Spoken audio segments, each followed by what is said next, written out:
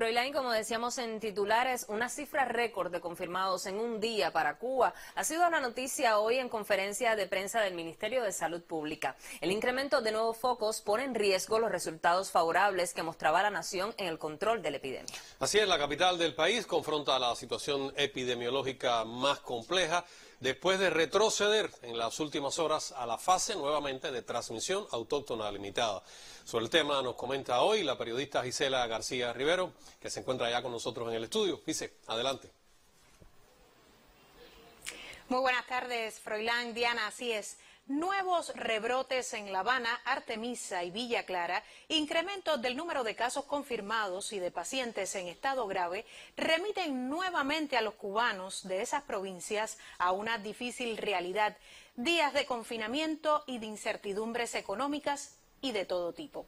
En pleno verano caribeño, cuando el calor nos hace soportar menos las horas en casa, cuando ya habíamos saboreado la nueva normalidad, los niños, disfrutados de esa necesaria interacción social, volvimos a la fase que habíamos superado o quién sabe si nos espera una más tensa aún. Con un relajamiento de todo el indicado, no solo en el ámbito familiar, sino también en los predios institucionales, vuelve La Habana a retomar el curso más complejo en el control de la epidemia. ¿A qué costo? Nos preguntamos hoy quienes trabajamos incesantemente desde esta capital porque se mantenga usted informado, se proteja y conozca cuál es el curso de este peligroso virus.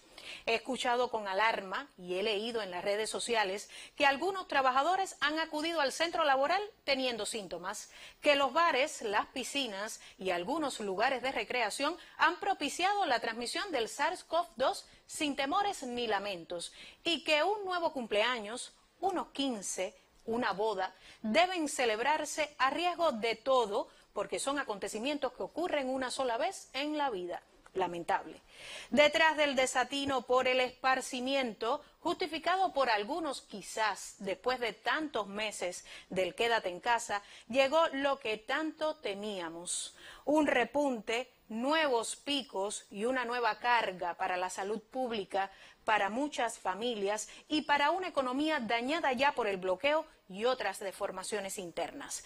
Sí, el hombre es el único animal que tropieza dos veces con la misma piedra, pero detrás de nuestra obstinada naturaleza gravita la ignorancia sobre algunas secuelas que va dejando la COVID-19 y que cada día reportan más los científicos del mundo. Piense usted, ¿cómo vivir sin olfato?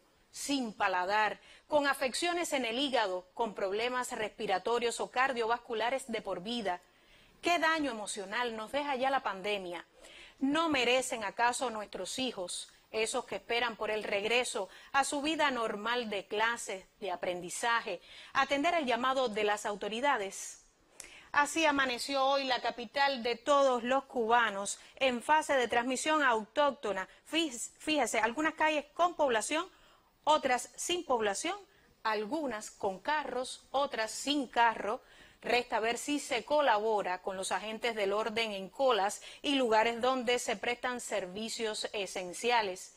Con la cifra hoy de 93 casos confirmados en esta jornada, fíjese, 93, 76 en La Habana, más de 20 casos sin precisar la fuente de contagio. Honremos con mejor conducta cívica, normas y respeto el sacrificio inmenso de los profesionales de la salud.